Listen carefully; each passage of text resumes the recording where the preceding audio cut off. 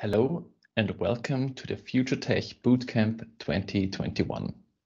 My name is Johannes Strassmeier and we at Sobos Pegelalarm inform people about water levels worldwide.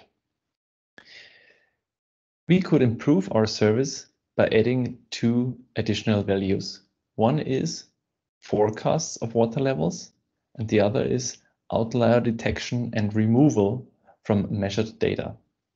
So go on and join us in the challenge and we're glad to working together with you.